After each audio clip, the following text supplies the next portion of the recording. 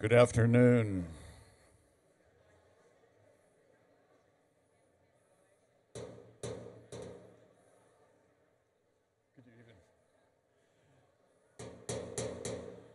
Don't make me use this. Good afternoon, everyone. If I could have your attention, please. Please don't make me use this.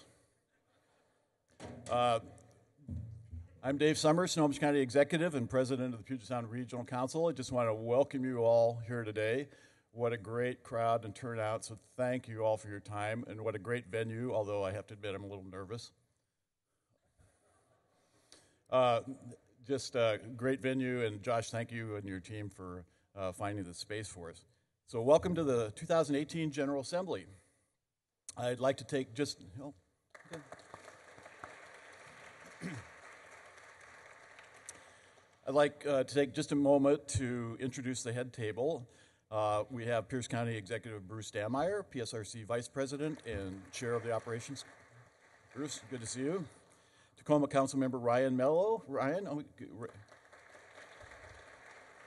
Ryan's Chair of the Growth Management Policy Board, and we have Redmond Council Member uh, Hank Morgan, Mar- Margeson, I'm sorry. It was handwritten, and I'm Vice Chair. Sorry, Hank. Uh, Seattle Council Member Rob Johnson, Chair of the Transportation Policy Board. Rob. Poulsbo Mayor Becky Erickson, Vice Chair of the Transportation Policy Board.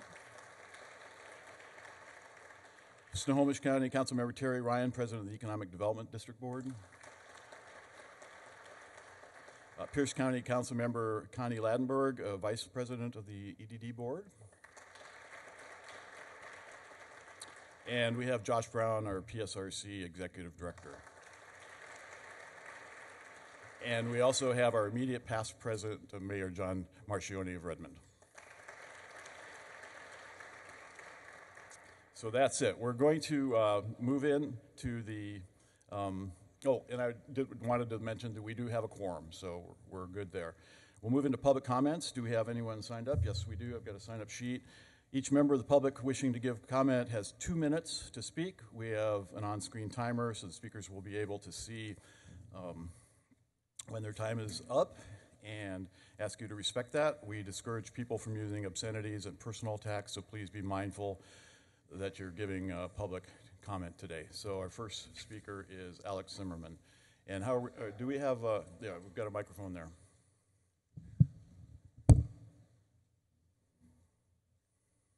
Hi, my dirty double A Führer, a Nazi social democratic mafia with progressive Gestapo principle. My name Alex Zimmerman, I am president of Stand Up America. Guys, you all criminal. Rules what is you establish here, now, and he repeats this, is a pure constitutional crime. You all criminal, and I talk about this for one year, what is you established through.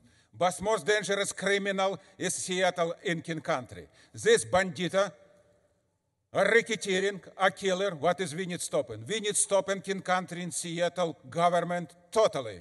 All council, mayor, executive is all criminal for another few years.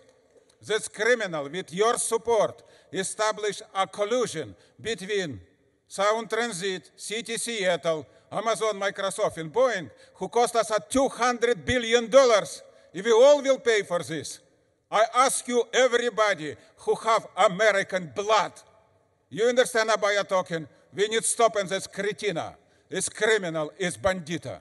And I talking about this every day, 1600 times. Not too many people listen to me. So my question right now, very simple. When Washingtonian will be stand up, he cleans his dirty garbage rats who drink from fat cat toilet.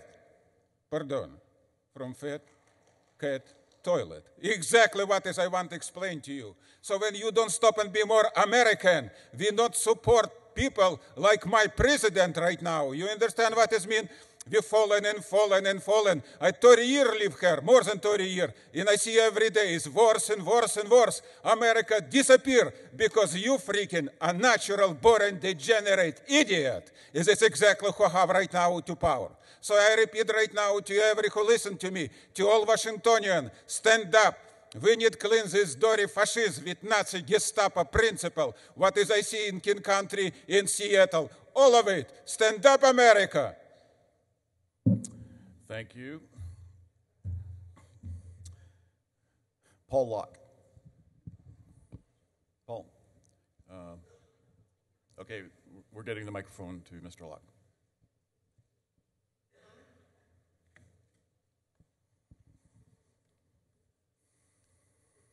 I'm Paul W. Locke. I am against public employees having to pay union dues to work for us. It shouldn't happen.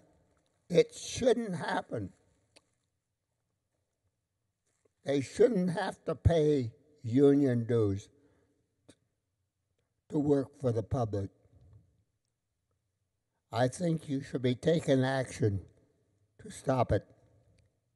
Public employees unions should not be permitted. Thank you. Thank you, Mr. Locke. Will Knedlik.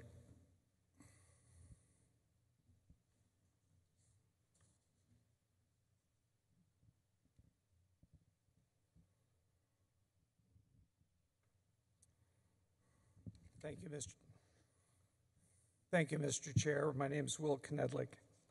American democracy, as established 12 score and two years ago, cannot thrive when elected officials rely on constant lies, and it may well not survive endless mendacities. Outside the precincts of the White House and the Environmental Protection Agency currently, it would be difficult to find a less intellectually honest document than, than the one that this regional planning organization has brought to the General Assembly today for the purpose of encouraging you to violate your oath of office to approve it this afternoon. As testimony presented to the Executive Committee on April 26th indicated in the form provided to you, the Regional Transportation Plan update now before this body for its consideration relies on PSRC's utter defiance for Article 2, Section 40 of the Constitution this agency's explicit statutory least cost planning methodology duties pursuant to RCW 4780030 and your obligations to look at, quote, the costs of and effects on public services such as utilities, roads, fire, and police protection that may result from the proposal pursuant to, to WAC 17411.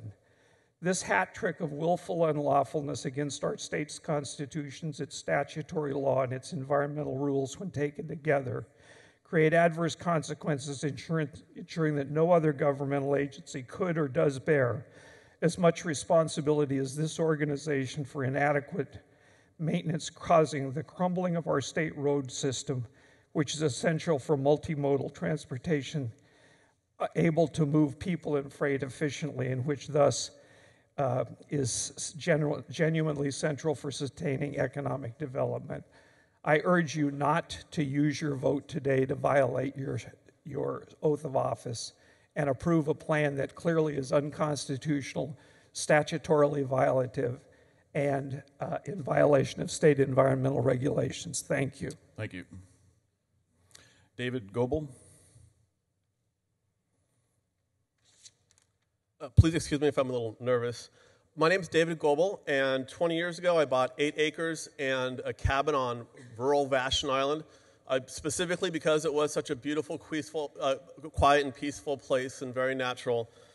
Uh, and I'd never heard of the Puget Sound Regional Council until I started trying to research what turned my life upside down about three years ago. And it was the FAA's Next Gen program, or it's branded in Seattle area as Greener Skies over Seattle, but in reality it's been anything but. And the PSSRC, led by Principal Planner uh, Stephen Keel, has been a major cheerleader and apologist for the Next Gen or Greener Skies over Seattle. Next Gen is something of a catch all word that the FAA uses for a variety of technologies. But in Seattle, so far anyway, it has to do with the use of what are called RNPs, Required Navigational Procedure, flight paths for downwind arrivals on the west side of the airport. It creates a razor sharp, focused path that every single arriving flight takes. In the past, the, the, arrival flights on the west side over Vashon and generally the west side would be spread over a wide swath several miles wide. With NextGen and these RNPs, it focuses them into a single razor sharp line using GPS technology that limits it to about plus or minus 100 feet, so literally the exact same path. Uh, and so every single plane, about up to 20 per hour, come over my cabin, uh, and every single one's following the exact same path. And as part of an attempt to do what's called optimized descent profile, they went and lowered the altitude several thousand feet as well. Uh, so it just turned what used to be a peaceful, beautiful rural place into just uh, all I hear are planes instead of the birds and, and the wind rustling through the trees. Well, I'm not going to get through all this clearly. Uh, so as, as the intention was that it was going to reduce pollution, but because it went and extended what are called level offs, which cause excess fuel burn, the, the, the FAA's own numbers show that it has increased level offs by 40%. Uh, and that's just a, that, that's overall for the airport. They're only on the west side, so that's my time. But if anyone's interested in talking to me, I'll be here. Thank you. Thank you, Mr. Goebel. Vic Bishop. Thank you. My name is Vic Bishop, and I live at 2114 West Lake Sammamish Parkway, southeast in Bellevue. Um, I am the uh, chair of the East Side Transportation Association. However, I'm here speaking on my on, on my myself. I am a professional engineer, a transportation engineer for 50 years in this region. There's a good chance that I've designed a traffic signal or did a traffic study in your community. I've done them in most of them around this region. I have followed PSRC since I was a graduate student in 1964 when PSRC, the predecessor, was doing the first original traffic transportation planning for the region. You are the individuals that give transportation that that drive the transportation policy in our community. You have collectively decided that congestion is okay. We can significantly reduce congestion. It is merely a decision. You have decided that 90 minutes from Everett and 90 minutes from Puyallup to Seattle is just okay. That is your collective decision. It's not something you can't do something about, it's something you've decided not to do anything about it.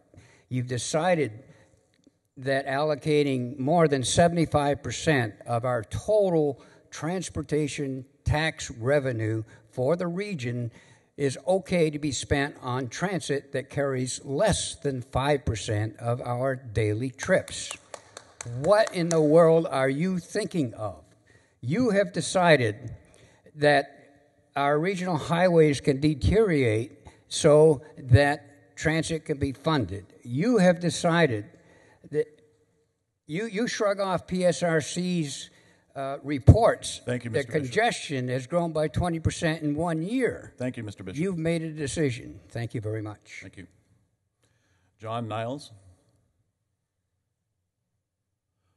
John Niles. Oh, there you are. There.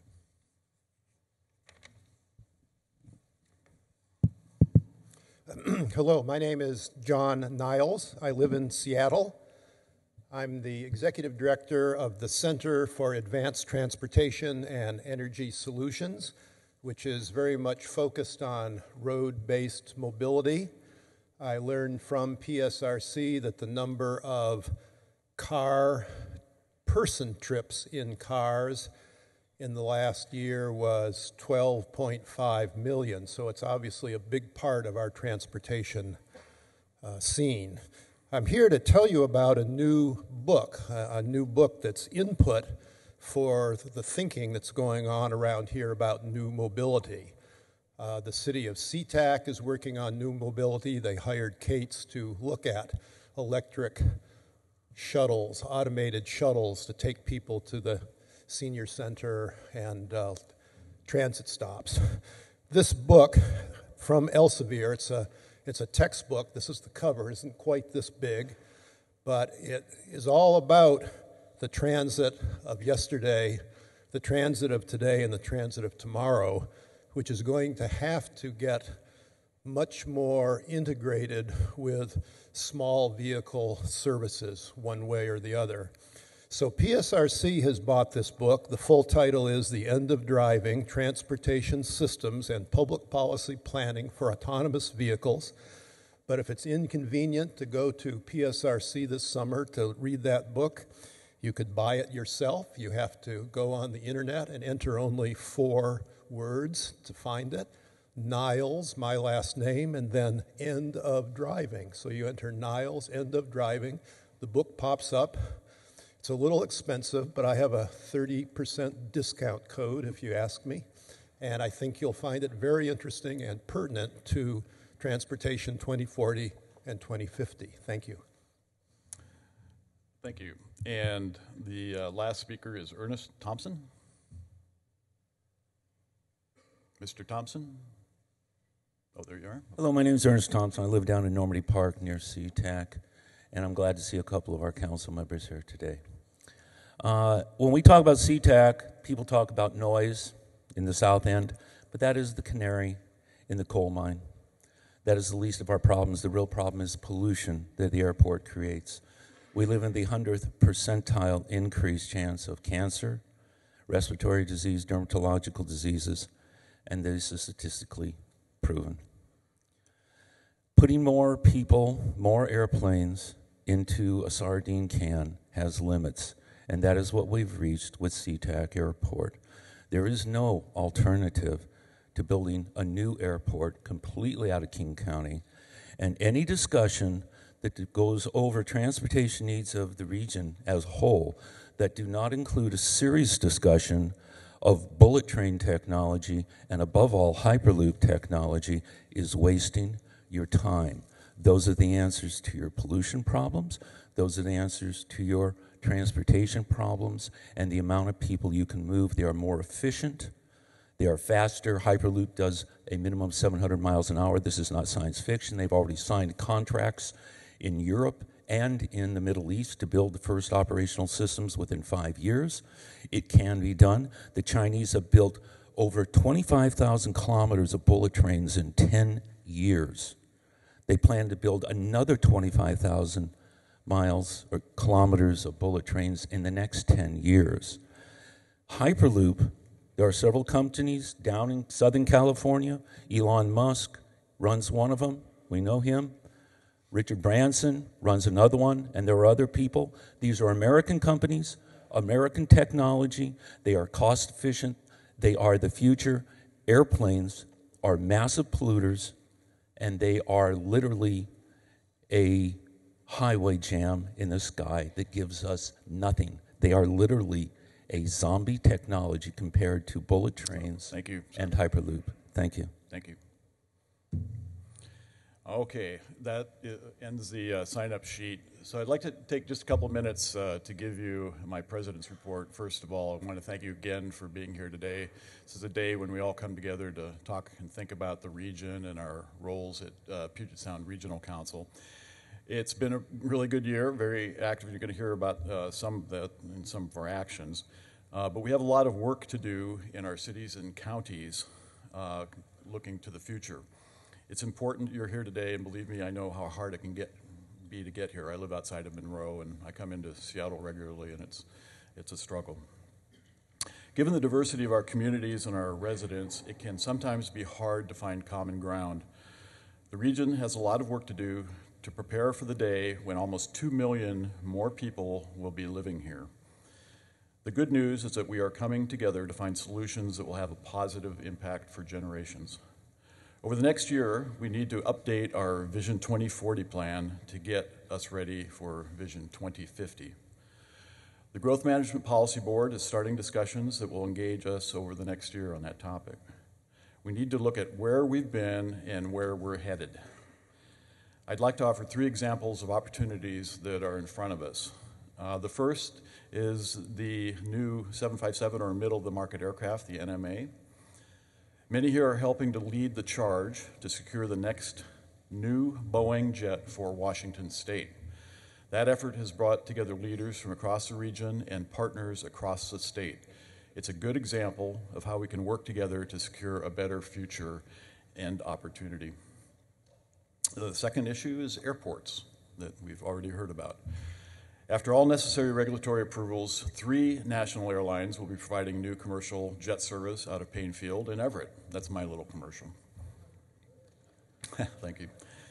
Major construction is underway at SeaTac, and even more is on the way.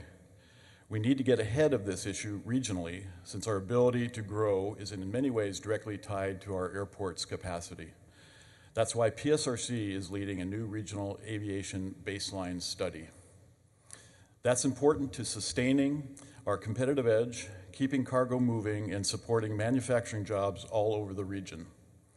Of course, we must also understand the impacts of growth on our airport communities. And the third issue is our transportation network. The region's transportation improvement program for the next four years includes over 600 active projects worth a combined total of 70, $37 billion. We have achieved this progress by working together. That puts us ahead of our peers. And believe me, I look around the country, and uh, many of us uh, travel, and uh, all, with, even with all the complaining we do and the issues we have, we're, I think, as a region, doing uh, an outstanding job. However, the improvements can't come soon enough for everyone here and the millions of people we represent. Later this year, PSRC will add more projects to the transportation pipeline, selecting projects for 525 million in federal funds. As the annual report highlights, we are a region under construction, and we will be more resilient because of it, and our economy will benefit because of it. But we have many big challenges facing us that we need to get right if we're going to sustain our extraordinary quality of life and unparalleled natural environment. These challenges include a rising cost of living, adequate affordable housing, homelessness, and the opioid epidemic. As we plan for growth, we must be realistic and look at the process from a regional perspective.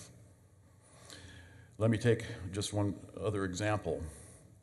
We might make a compelling case for expanding growth in a particular part of the region and assign a certain number for growth. However, if there isn't adequate affordable housing in that area, we will never reach our targets. We must take a hard look at what we're doing as governments to make more affordable housing available. We cannot continue to have extraordinary growth if we don't also have a significant improvement in the stock of affordable housing. We must work as a region to tackle these issues, with both our urban and rural communities contributing to the solutions. To help move Snohomish County forward on these issues, I held a Vision 2050 summit for elected officials in the county. I think uh, this was a good model for spurring collaboration across the region. We provided maps and gave our local elected officials a chance to go through real time exercises in figuring out how we plan to grow uh, within our county. It was a great way to get everyone thinking about what we need to do for Vision 2050. I encourage others to try this exercise. Be happy to talk to you about it. Uh, the uh, meetings we had, we had amazing um, concurrence of thought within Snohomish County when we looked at the uh, 250,000 people that are headed our way in the next 20 years, and we looked at our infrastructure and our county. Um, uh, I think we were headed towards a common vision as a county. So there's a lot of work ahead. Let's get started. I am a sincere believer in regionalism and working together and sorting through our, our problems together. PSRC is our forum for doing that, and I'm proud to be a part of that. So thank you.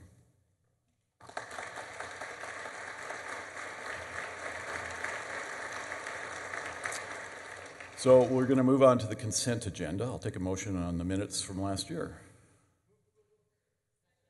Any comments? All those in favor say aye. Any opposed? All right, consent agenda is adopted. New business, the adoption of the FY 2018-2019 supplemental biennial budget and work prog- program, and I would like to call on Executive uh, Bruce Dammeier to present uh, the supplemental budget and work program to you. Bruce?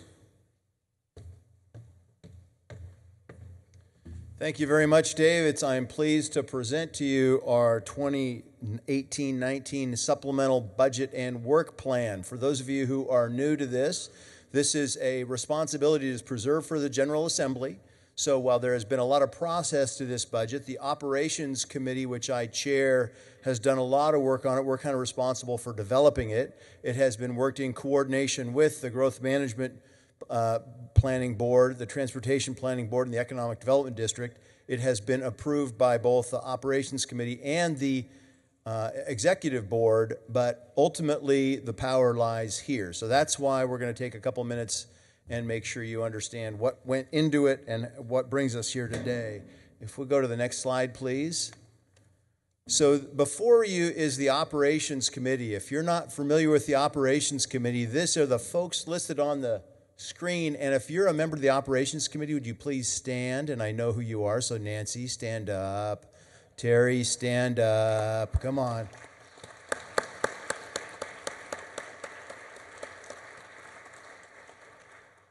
So for yeah, more of them didn't stand up, but we'll talk about that at our next meeting.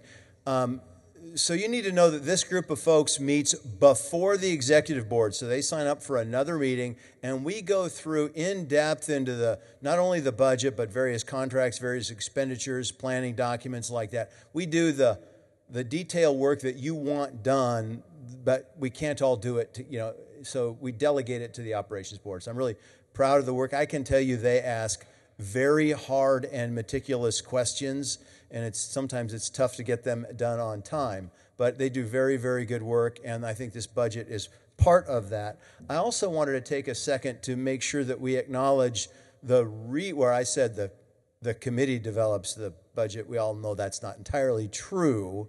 That the staff, the finance team develops the budget, uh, headed by uh, Diana Lauterbach down here. Let's hear for Diana.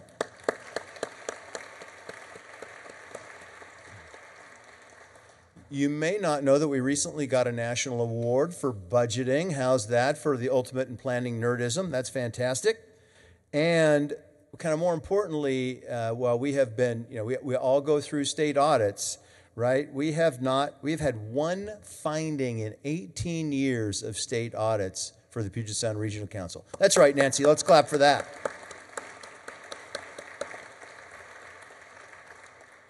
So, with that, if we could have the next slide.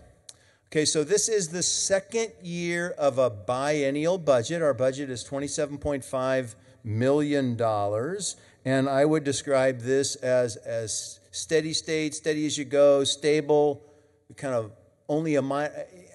In my world, I would say there's almost only a minor technical tweak from the previous year. So that's a good, speaks well to the, to the biennial budget that we passed last year. It's executing well and it's holding up well before you. So there's only very, very minor changes. As you can see, and those of you who are crafty veterans from this meeting, these are the same charts we show every time. It won't surprise you that the vast majority of our money comes from federal grants, right? 57%. That is the biggest chunk of it. 4% from state grants, 16% uh, is provided to match federal and state grants. And it won't surprise you that the vast majority of the council's expenditures are in salaries and benefits. So I'm sure there's nothing in there that is kind of surprising. And as again, this is a sec- this is the second year, so the supplemental year of a biennial budget that is, I think the last time I looked, the adjustment was like a forty thousand dollar adjustment on a twenty-seven and a half million dollar budget. So that's that is pretty darn good. So with that, I'm going to go on to the next slide, and this is the action for the day. So I am uh, I am recommending, and the executive board recommends, that we adopt the supplemental fiscal years 2018 19 biennial budget and work plan as recommended by the executive board, and that we adopt resolution uh, PS, PSRCA 2018 01 authorizing submittal of the adopted budget fiscal years 28 2019 supplemental budget and work plan to the appropriate federal and state agencies so we continue to get the federal and state dollars. So we're adopting the budget and we're authorizing that budget to be submitted to the feds and to the state to get more money. Does everybody, everybody make sense? So what I would like to entertain is a motion to do both of those things. Thank you, Commissioner Petridge, seconded by Mayor um, Woodards from Tacoma. Way to go, Pierce County. Thank you for the support up here. So this is a roll call vote. So, right now, Sheila is going to call your name and you get to vote by jurisdiction.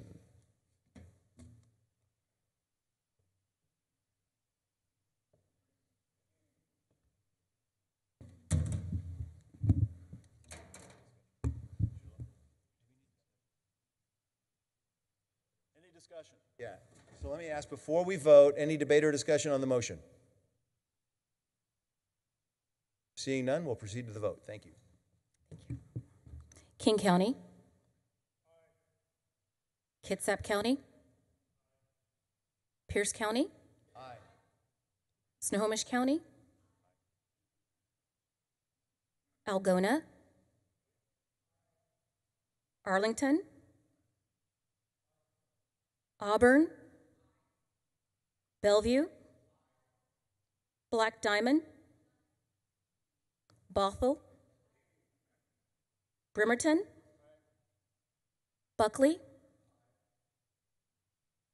Burien. Darrington. Des Moines. Duvall. Edgewood.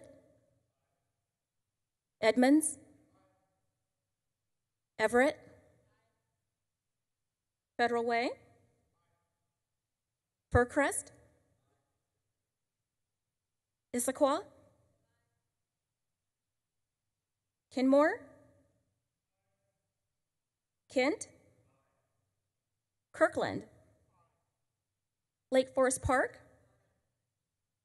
Lynnwood. Marysville. Medina. Mercer Island. Mill Creek. Mountlake Terrace. Mukilteo. Normandy Park. North Bend. Orting. Port Orchard. Poulsbo. Puyallup. Redmond. Sammamish. SeaTac. Seattle. Shoreline. Snohomish. Snoqualmie. Steilacoom. Sumner. Tacoma. Tukwila. Port of Seattle. Port of Tacoma. Port of Everett. Washington State Department of Transportation. Washington State Transportation Commission. Are there any jurisdictions that I've missed? How do you vote? Any others? So a vote was unanimous. Thank you very much. Measure passes.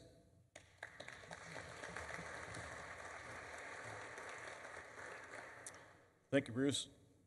And our uh, next action is the adoption of the Regional Transportation Plan. I'll call on Seattle Councilmember Rob Johnson, who's Chair of the Transportation Policy Board, to present the Regional Transportation Plan. Thanks, Dave. Um, I'll be brief. We've been talking about this plan for more than two years, and today is my wife's birthday. So I'm in charge of going to pick up the kids from school. So I want to get you out of here on time.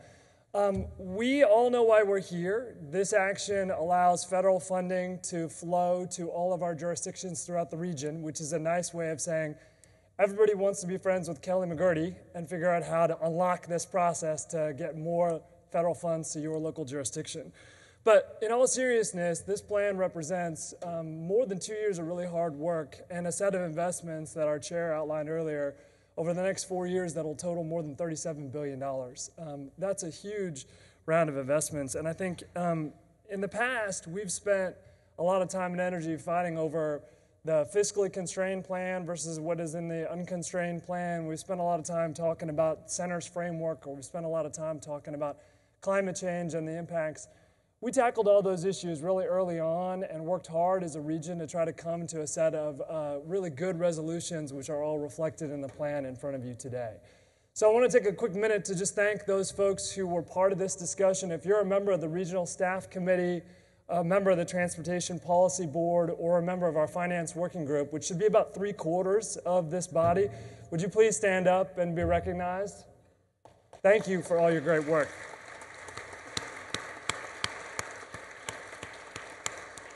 I want to give an extra special uh, moment of recognition to my vice chair, without whom none of this would be possible. Becky Erickson, rarely have I ever worked with somebody who has such a great ability to bridge across multiple jurisdictions with such wonderful aplomb. You chaired our finance working group, and that was a, tremendous uh, body of work in and of itself. And I'm just so grateful to you for all the work that you've done on behalf of this issue and behalf of the region. So please, Becky Erickson.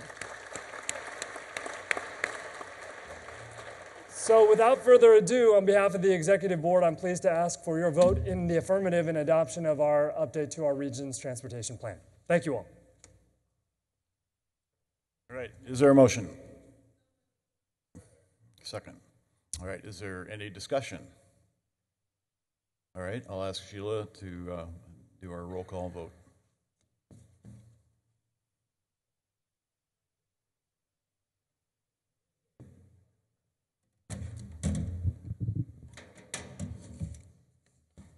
King County, Kitsap County, Pierce County, Snohomish County, Algona, Arlington, Auburn, Bellevue, Black Diamond, Bothell, Bremerton, Buckley, Burien, Covington, Darrington, Des Moines, Duvall, Edgewood. I'm sorry. Thank you. Edmonds, Everett, Federal Way, uh, Fircrest, Issaquah, Kenmore, Kent, Kirkland, Lake Forest Park, Lynnwood, Marysville, Medina, Mercer Island, Mill Creek, Mountlake Terrace, Mukilteo, Normandy Park, North Bend, Orting, Port Orchard, Poulsbo, Puyallup, Redmond, Sammamish, SeaTac, Seattle,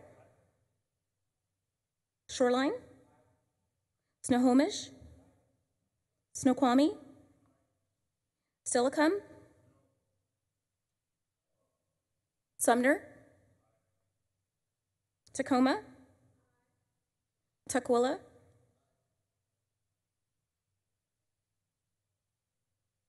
Port of Tacoma,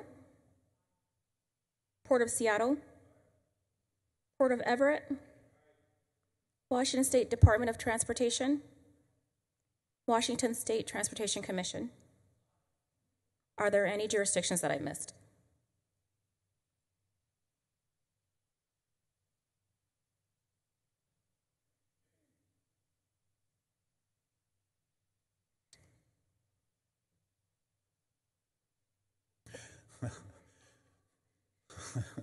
Motion carries uh, 99%, yes. Handed to me, it looked like a 66%. I'm going, that doesn't. So thank you uh, very much. Uh, Our next uh, item of business is election of officers, and I would like to call on Redmond Mayor John Marchione, our immediate past president, to present the results of this year's nominating committee and its recommendation for PSRC officers.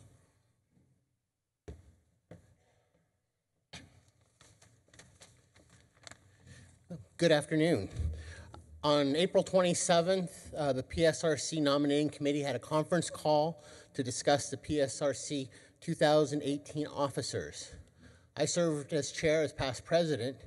Before I give our report, I'd like to let I'd like to tell you who else served on the nominating committee this year.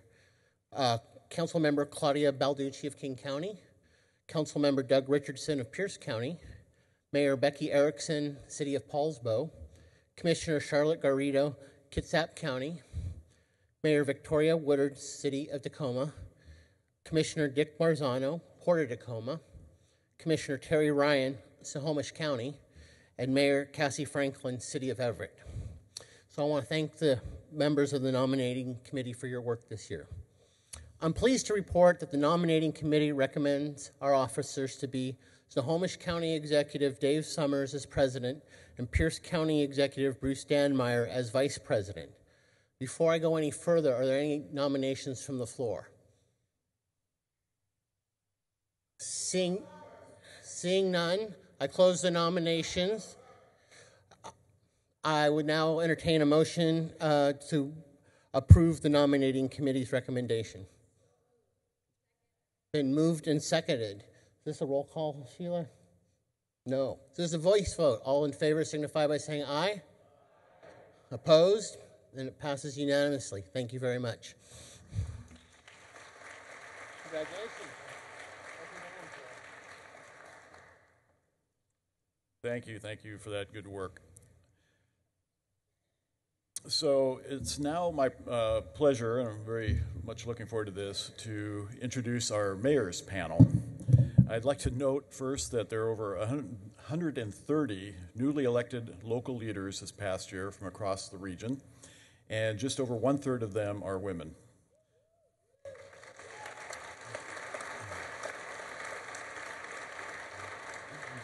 And, it tells me in my notes pictures of all 20 women mayors will appear on the screen. This is, uh, there, we, there we go. So let's.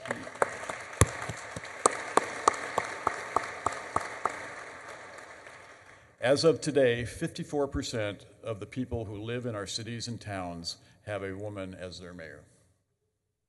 We'd like for everyone here to get the opportunity to know some of the region's newest leaders a little better.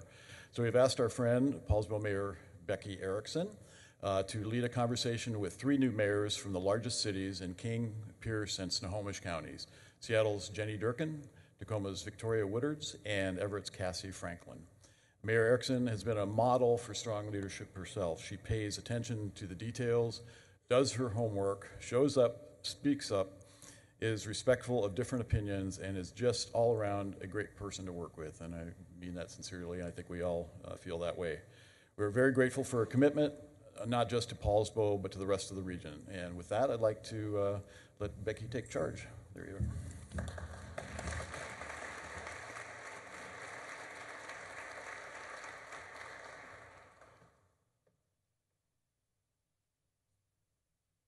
Speaks up, that's commonly called mouthy, okay?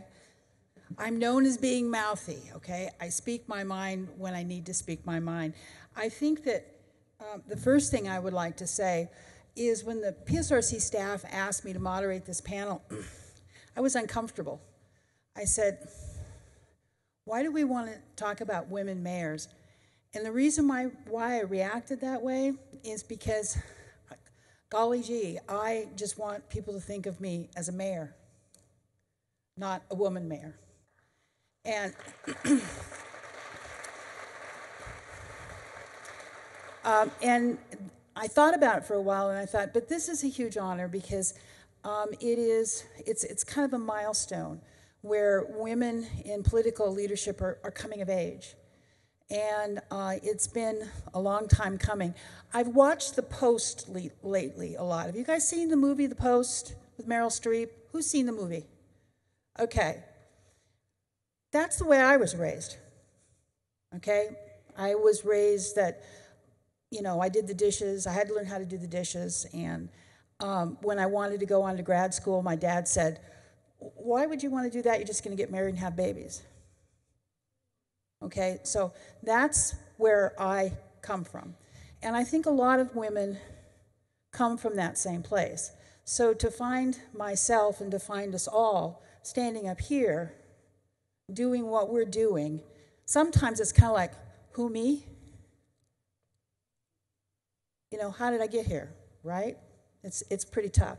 So, with that, I'd like to call up two wonderful mayors, and I guess Mayor Durkan is on her way. I'd like to call up Mayor Woodard from Tacoma. Victoria, is it Victoria? Vicky? Victoria. Okay. She's a woman. Okay. And Mayor Cassie Franklin. Cassie from Everett. And folks, when Mayor Durkan arrives, uh, we'll have her come up here and we will have her enter the conversation. Now, the next thing I'm going to do, ladies, is I'm going to try to ch- channel Oprah here, which is really going to be scary. Okay, so let's see if we can pull this off. I'm going to move over to the table.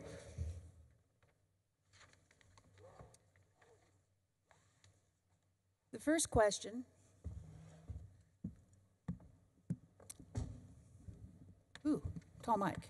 The first question I have is just frankly, how's it going? I mean, seriously, when I first became a mayor, it was like drinking from a fire hose. Okay, so I'm just going to be very, very upfront. How's it going?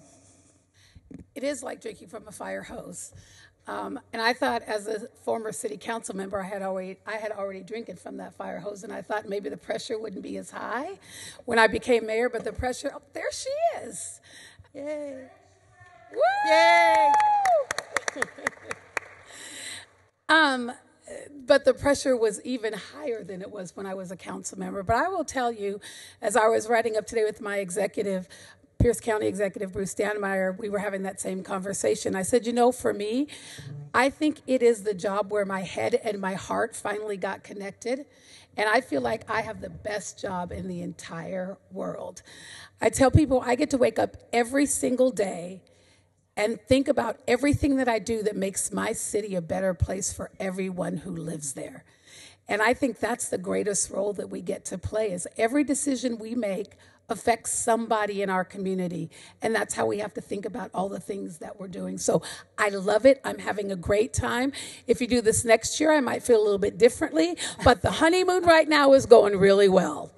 How about you? How are you doing? I, I, I can't agree more. First, I, I, as you were making your comments uh, up there, I feel very much like I'm up here. Yeah. It- this is me, and um, I didn't. People ask me all the time, "Did you have grand goals of being mayor?" And I didn't. Growing up, I did not think I was going to be mayor. But I agree wholeheartedly with Victoria. This is the best job on the planet. I absolutely love it. And when people ask me, um, you know, what's the what's the what's the hardest thing, or what's the most surprising thing? I, I have to say this job is really hard. This is a really hard job, and and I shouldn't have been surprised about that, but it is a huge job. I was a council member beforehand, as Victoria was, but it's very different to be in the mayor's office. But it is the most rewarding job on the planet because you feel every day uh, that you can make a difference. You get to work side by side with your constituents. You get to work side by side with incredible staff, regional leaders, and um, and you can see the direct impact of that work. So I love it. Uh, I love the challenge, and I hope I this honeymoon continues as well. Mayor Durkan, how's it going? It's going great. Um, I'm glad I'm in sanctuary. I didn't know it was just a block from my office. Um, you know, it is really, I would echo here is it can be hard sometimes, but if you look at what is happening nationally and you look at where we are kind of in the arc of history right now, I think that progress on the things that matter most to people and that affect their everyday lives, that progress is going to happen locally. It's going to be at the city, the county, and the state level. And I think our region together can set the bar on so many of those challenges that we're facing today by working collaboratively, by moving forward. And yes, it can be really hard because we're in a hard time right now. Um, and we've changed so rapidly as a city and as a region. But at the same time, we have the best assets anywhere to be, do things right. We've got really great companies who are doing cutting edge work. We have really good workers who are innovative, smart, hardworking. We have elected officials at every level of government who are doing it because they want to make a difference. And so for me, I couldn't be more proud or more honored to be the mayor of Seattle, to be a mayor in this region with women like this up here and the people I see out there. Because when we come together, we make a difference and we make a positive difference. So it's all the more important when it's hard. You know, when I first decided I was going to run for mayor, people ask me, why Are are, you crazy? No. Yeah, that was the first thing, you know, because I came from the council too, right? And I thought, okay, I'm going to run for mayor. And I, people ask me, you know, why, why did you do it? Why are you running? And I tell, I told people it was because I got mad, okay, because I wanted to do something different. Frankly, why did you all run? Why did you make the decision? Was it one thing? Was it a series of things? When did that light bulb go off in your head that said, yep, you know what, I got to do this? Hard question? No, so I'll start. You know, I start decided to run first for for council when our community started experiencing uh, the devastating impacts of street level social issues, homelessness, addiction. I'd spent my career in the nonprofit sector focused on those issues, and I saw our elected and business leaders truly struggling with these issues and not having the, the tools to, to handle them. And so I, I felt that I had some, some strengths to bring to the table and a skill set that we all have in the nonprofit sector of collaboration because these are huge issues and huge challenges that we're facing, not just in our local cities, but across the region. And that deep level of collaboration is required for us to be successful. So that's what inspired me to run. Uh, first for council and then for mayor, I, I, think I just took a crazy pill. I, you know, I, um, it, it really was. It was op- obviously an opportunity when our our longstanding mayor decided not to run for reelection. But again, it was recognizing the enormous uh, challenges that we were facing and the huge opportunity and potential of our city and our region. I felt like that skill set of collaboration and regionalism and working across jurisdictions and across different systems was going to be necessary for our success. So I wanted to be a part of it. Who's next? Why did you do it? So I have been in and around public service pretty much my whole life. As many of the people in the room know, my father was a state legislator for the whole time I was growing up. My mom doorbelled when she was pregnant with me. Um, if we could walk, we could doorbell. Um, but I always, I always avoided running for office. I served in other ways, and the last service I had before running for mayor was I was President Obama's United States Attorney here in the Western District, and I loved that job. I, it was just really such an honor to serve in Western Washington, but serve for an agency whose name was a public value, justice, and work with people throughout Western Washington. But when I left, I pretty much thought I was done with public service. Um, and then I don't know if anyone in this room has noticed, but my politics and values are not necessarily aligned with our president's. And when he was elected, for me, the world started spinning just a little bit differently. Um, and mostly because it was my oldest son's first election he voted in. And more and more, I see the world through my children. And I think about what is the world we are leaving for our children because my parents worked really hard and left me a better world than they had. Um, and I was reminded about this weekend when I went and visited my parents, who are both buried at Tahoma National Cemetery, about the sacrifice of that generation. And so, in talking to people and looking at how is it we can have a better world and ensure a better world, I truly don't believe much good is going to come out of Washington, D.C. for a variety of reasons for at least four more years. It's so gridlocked and so partisan locked. If we're going to make progress, again, I believe it's at the local level. It's when we can put down our differences, we can work collaboratively, we can do it city to city, in the region, across party lines, and think about what do we want to leave our children here in Seattle throughout this region? And so for me, the motivation was if I wanted to tell other people to step up, I had to be willing to do it myself. Mayor, Mayor Woodards, go ahead. Well, honestly, I never wanted to to be an elected office. Actually, before I became an elected official, I worked for an elected official, Harold Moss, on the county council. And I thought, there is no way in the world I ever want to do a job like that. Um, and then I started my political career on the Parks Board um, and found that I loved what the Parks Board did, but more than that, I loved policy. And on top of that, um, in most in most cases, um, when I walked into a room as an elected official, I was the only woman. If I wasn't the only woman, I definitely was the only person of color.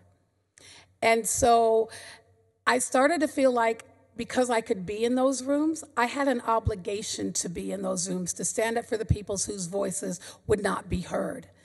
And so I went from the park board to the city council um, and, and got to make a real difference on the city council. But again, I really felt like it was my job to be there for the voices who couldn't be heard. And frankly, why I decided to run for mayor is because lots of people, I couldn't go to a grocery store or a church or the mall or take out my own trash without somebody saying, When are you going to run for mayor? I want you to be my mayor. And I'm thinking, I got seven years on the city council. I'm pretty good. I, I, that's, that's good enough for me. And I kept hearing everybody wanting me to be, that, be their mayor. And I think as mayors and just as elected officials, as all of you, we don't represent ourselves. We represent the people that we serve. And if everybody wanted me to be their mayor, and not everybody, obviously, because there was 40% of them who didn't vote for me, but if the majority of people wanted me to run, then I should run and I should lead. Um, and while I was thinking about it, as Mayor Durkan said, November 8th happened, November 9th, 2016. That was enough for me to say, I will not be able to control what happens on the national level, but I have an opportunity to step up and be a leader in my city. And I can help control what happens here. And for that reason, I will run. And I did. Um, I don't know. I've been doing, I've been a mayor now. This is my ninth year. Okay, I'm beginning my third term. And I think I average about 60 to 65 hours a week. Have you guys thought about how many hours you're working and what that's doing to your family? And how do you balance all that? Go ahead. Look, it's the greatest toll. Even if you think you have a pretty good estimation of the toll it will take on you and your family, then you got to times it by about 10. Um, there is just, at least in the city of Seattle, um, being mayor at this particular time, I probably am more successful in counting the hours I don't work yeah. because there are a lot fewer. Um, there's no weekends, there's no evenings. Um, and because it's such a close and proximate job, I'm sure you feel this, and I can look out in the room and I see other people in this thing. People know you. I mean, I will be out for dinner, and people will, that I've never seen before, will sit down at my table and start telling me about the problem they see and the solutions. If they have the solutions, I'm happy. That's right.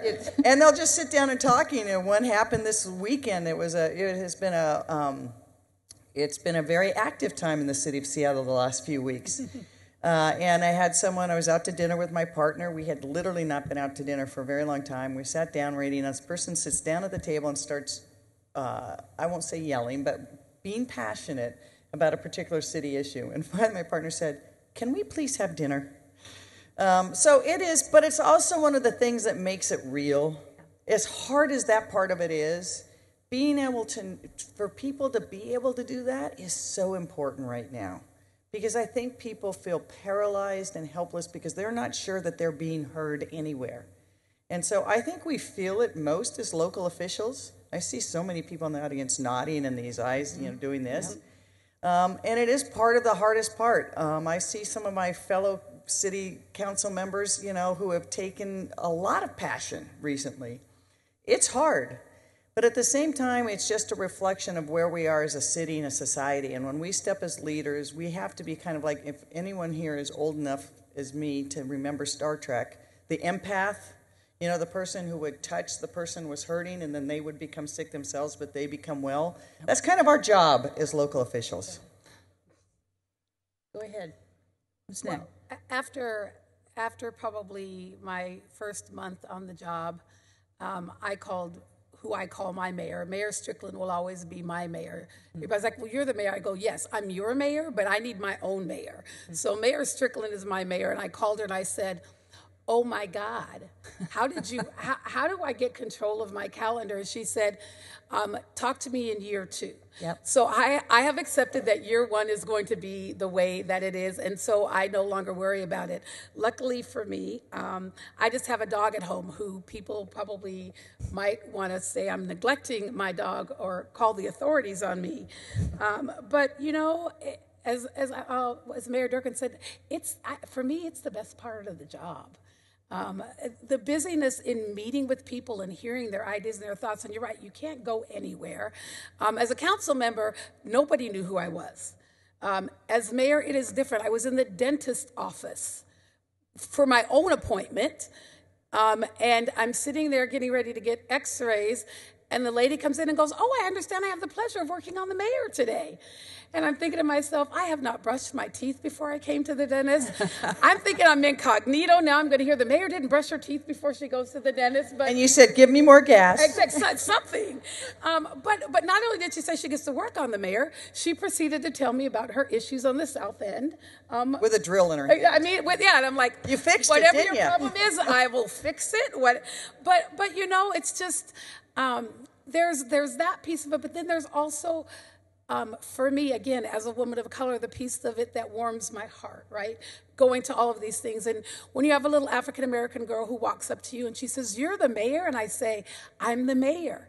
And she goes, Really? You're the mayor? And I said, Yeah. She goes, I can be a mayor. I said, Absolutely, you can be a mayor. So if that's the effect of this, is that if that is the effect that this busyness has, um, the busyness in my life has on my community, if it if it's that way in year two, year three, year four, and in the next four years, um, I'll just I've decided that my work life balance is going to be different. It, it does get easier. It, it does. It does get easier. Yeah, it does. The I first- figured I'm going to stop at some point. The first year and a half are are really hard, okay? But then there's a learning curve here. And you know, I've had been a business manager and executive for many years, but I had no idea about the the pace of being a mayor. But you guys are still in the learning, you know, the ramping up. And you know, and it is you're you're drinking from a fire hose, but it does actually get a little easier. Go ahead. Yeah, no, I, I think it, it is 24 7 job. It is absolutely a 24 7 job. I've got my cell phone next to my bed so that our police chief or fire chief can call me in the middle of the night if there's an emergency so that I'm aware of it before I get to the office in the morning. Um, fortunately, my, my family is extroverted. So my, my nine year old daughter is as much of an extrovert as me. So when we go to the grocery store and we're stopped for folks that want to talk about their park or their potholes or whatever policy they like or don't like, she's like, "Hi, this is the mayor. She's my mom," and, and then it usually wins people over. So it's it's great for for angry constituents to have my little girl with me. But no, it is it is a twenty four seven. It wasn't too much of an adjustment. I mean, obviously, you all know as elected leaders, the campaign is the best preparation for that twenty four seven that you can have, and it's no different for us as women mayors than it is for anyone else out there in elected leadership. So, what I guess I've been trying to do as a, as a, as a younger mayor that has a young child um, at home is kind of change narrative that life is part of me being mayor. Uh, my deputy mayor, Nick, also has young kids, and you'll see our kids on the 10th floor of City Hall. And sometimes we got to pick them up sick from school, and I still have to go back to the office and, and be mayor and, and do this job. And I feel like that is good modeling for the rest of the team that this is possible. And I'm a mayor and I'm a mom, and all of that has to happen at the same time. So. Yeah, I want to follow. I think that's really true. I haven't. I've always in the workplace first because when my kids were young, I needed it, and then when I was U.S. attorney, now I have a corner that's just kids' table, kids' toys, and I tell everyone who works in my office that they got to bring the kids in. Great. I mean, I'm sorry they have to.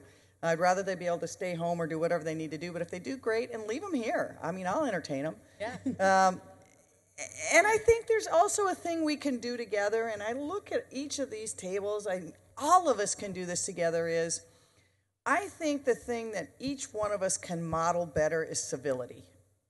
And we are living in a really very emotional, passionate, difficult time. And we see it show up in public discourse in ways that I think are really hard.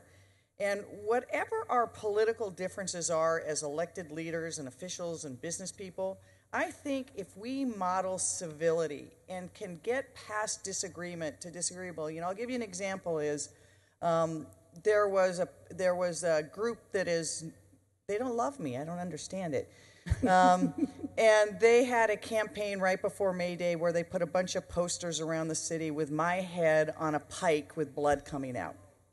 And I found out because my teenager was taking a date to an area where they saw it, right? Not the thing you want to see your kids to see. But that kind of discourse shows up to people that I may not always agree with, but who are treated in the civic manner in a way that just isn't right. And so I would just urge everyone in this room that all of us, no matter how tired we get, no matter how strongly we feel about something, no matter how much we might kind of part of me think, ha ha ha, look at them, we see to ourselves, look, if we really want to have a region where people can solve problems, mm-hmm. we have to model civility and demand civility from people. Because then I think if we focus on the things we agree on, or at least the problems we know we all want to solve, we'll get to that point better. I, yeah.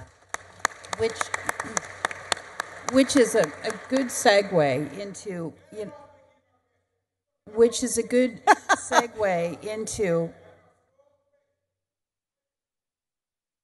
which is a,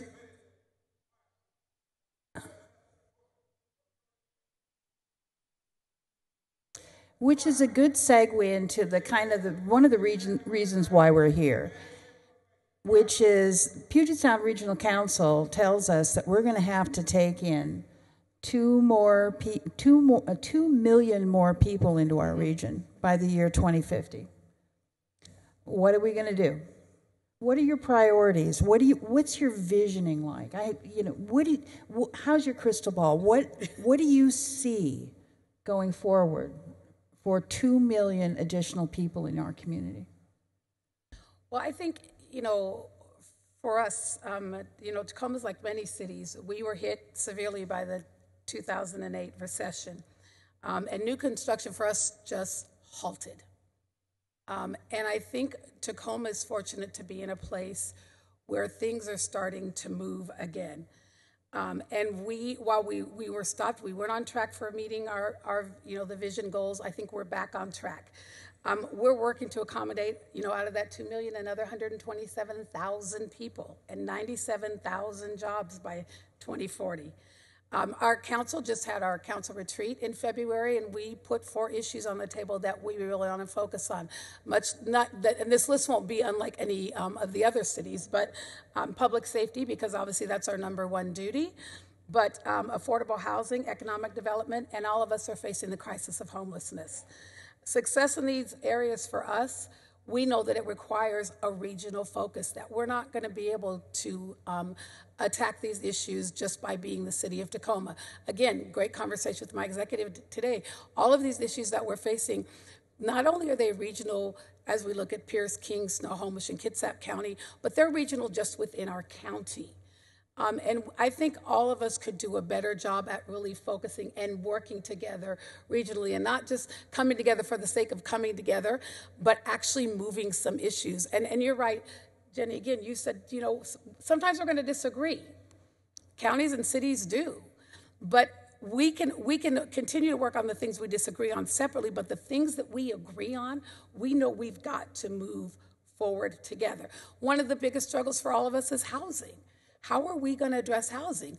Well, second to paying, how, paying for your housing costs, the largest bill in a household is transportation. And transportation is something that we're already all working together, but we've got to continue to move the needle with Sound Transit. Um, with the work that they're doing, and then just with our own public transportation. Um, I think if we do that, we can continue to align jobs, transit opportunities, and housing. Um, but until we continue to address, until we address these issues together, or we've already done some of it, but until we continue to address these issues together, I don't think we're going to make as much headway as we need to. How about you, Mary Franklin? Yeah, so in Everett, we also are, are very excited to finally be getting to that place where we can embrace growth. We're excited to see uh, new interest and new opportunities in our city. With that growth comes the diversity we want to see in our city, the, the jobs that we desperately need in our community, and the innovation that supports us all. So in 20, since 2014, we saw about 1,500 units come into Everett, and now in the pipeline, we have nearly 3,000 units. So we're seeing that boom finally finally follow into Everett. But we've had we've struggled like Tacoma in in meeting the growth expectations. For, for Everett to be successful in that, we would have to take 26% of the growth, but we've only seen 8% of it thus far. So we have our work cut out for us. I think that our, our, our challenge is that, you know, there are big greenfield properties that are easily converted into single family homes in unincorporated parts of our, our community. And, um, and then in other urban centers like, like Seattle and Bellevue, you have these really uh, high, high rents so that the developers are really drawn into those areas. So we need some tools. We have some economic barriers to, to embracing that growth. And so we're looking to our regional partners, we're looking to the Puget Sound Regional Council to work in partnership with us because our city is honestly excited to grow. We uh, embrace that growth. We are so ready, and, and um, we've been working at a fever pace to kind of draw that in and, and catch up now that, that some of that development is happening in our region. So I think growth is the biggest challenge that we face as a region and how to do it right. Um, I'm looking out at my fellow board members from Sound Transit and Mayor Backus, who's on the one table with me. And with growth comes both enormous opportunity, but we also have to have shared responsibility. And so I think as we are looking at, for example, at issues of homelessness, I'm really excited to be working with Mary Backus, Mayor Backus and Dow Constantine to figure out how do we as a region get more affordable housing as quickly as we can. And when I say affordable housing, I don't mean just deeply affordable housing so that the lowest people among the lowest levels of economic status can have it, but middle class housing you know, we are kind of the canary in the cage in Seattle. Our middle class housing is vanishing. And people can't afford to be in Seattle and stay in Seattle. So if we don't fix that as well, we lose the civic glue in our cities and our region. So I think that we have to have a shared vision for how we have growth, both where the economic opportunity goes, so we can make this a more vibrant region. I really believe that when other parts of this region do better, Seattle does better. And it's part of my job as mayor not just to look provincially in our borders and how we make sure that we as Seattle do right, but how do we make sure we as a region do right? Um, because if we do that, you know, Jeanne Kohl-Welles has been talking about this for a long time. If we're talking housing affordability, we have to be looking in those areas where people can actually afford the dirt or afford to build or their space. Um, and Seattle, our built environment is one of the most expensive. There's the least space. So our answer is density. It's density around our transit. But we have to be thinking as a region what does it look not just today and in five years? How do we solve the emergency in front of us? What are we going to be in five years, in 10 years, in 20 years? I'll finish with just this. You know, as U.S. Attorney, I was really lucky. One of the things I got to do was work with the U.S. attorneys around the country and became really good friends with a number of them two of my closest friends, one of them was the U.S. Attorney for Detroit, and the other the U.S. Attorney for Newark. Cities' fortunes can change very rapidly if we don't continue to innovate and be very smart about how we do growth and how we keep jobs here, but also how we build enough affordable housing. So we got to work together as a region. So I'm hearing clear messages of regionality, working together across the four counties. And I think that uh, just maybe to close this up, because I think everybody needs to get back to work. Um, I don't leave sanctuary. I, I feel so safe here. I do. I think it's very important that the four counties continue to communicate. Is um, uh, do you do you all agree with that sentiment that we all keep working together? Absolutely. I mean, the, the, the, opportunities that we have in front of us require that regional approach. For us to be globally competitive, we have to work together. We have to increase our global brand and, and, and really compete with the rest of the world. And that requires us to, to work as one system. And that one system, we have an opportunity to address these challenges housing affordability, homelessness, addiction we need to improve our infrastructure, and that improving the infrastructure for Everett and Tacoma helps Seattle, right? So anything that we do to support each end of our region supports the entire region. So that approach, I think, is the only way to, to, to help us compete on a global scale. Okay, so time, are we about okay? Um, last thoughts, and then we'll skedaddle. Go ahead. I was, I was, I just, I, my last thought will be just the question that you asked, and I think. Um, being from you know one of one of the cities on the other side of Seattle, in a city that frankly um, a lot of people still think we don't want anything to do with Seattle, right? It's like it's not true, though, Seattle, right? No, it's absolutely not true. Seattle's just that big thing. But the reality is, is that we need to wake up and realize, and I know a lot of us in this room have, but there are a lot of people who still haven't. Our competition is not with the three of us. We are not competing against one another. Our competition is with other regions um, who are talking about taking jobs out of this area. So I think, uh, you know, for me, our focus, I'm excited to sit down with these other women at- or, and, and gentlemen as well. Um, but, with We'll these other ma- but with these other mayors at the table. Women and talk really well together. We Okay, really yeah, do. okay. Um, but, but to recognize that we have to work together because uh, that global competition is not between the three of our cities. We are competing with people across this country and across the world for the jobs um, and opportunities for our communities. So I think it's it's really important for us to remember that and to continue to break down those barriers. I know for me in Tacoma, anytime somebody says that to me, I'm like, that's not the case. We've got to work together. I would agree that I, I would put a little bit of a different footnote that we haven't talked about is I think we are living in a time that history will write about us as more transformative than the Industrial Revolution because the innovation economy is taking off and the old economy is dropping.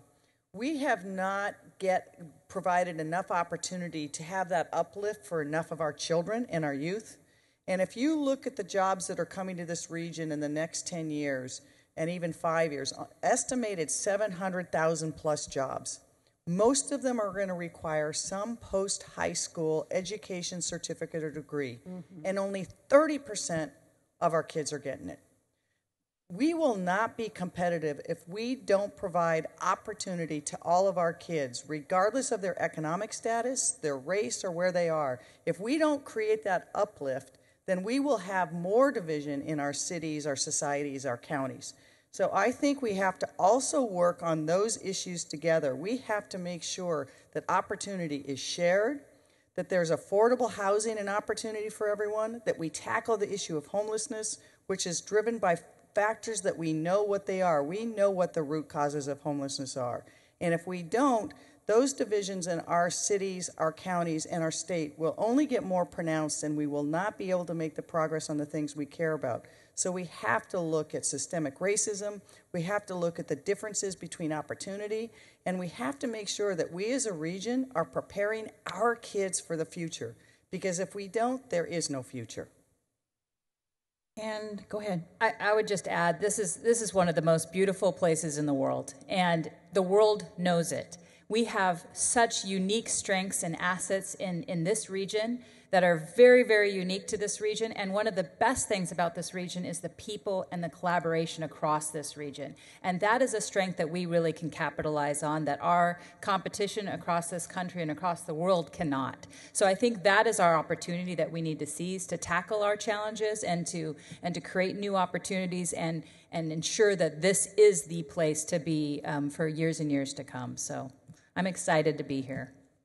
The final thing I'd like to do here, real quickly, is would all the women elected folks please stand? I see Nancy Backus, Mayor Nancy Backus. If you're an elected woman, please stand up.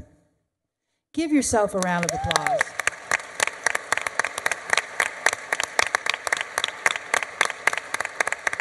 And, and thank you to the mayors here today. Ladies, it does get easier. It does. remember to get some sleep. We've sleep. got that on tape now. Yes. Remember to get some sleep. It's important. So uh, thank you all very much. Thank you very much. Thanks to everyone out there. Great to see you.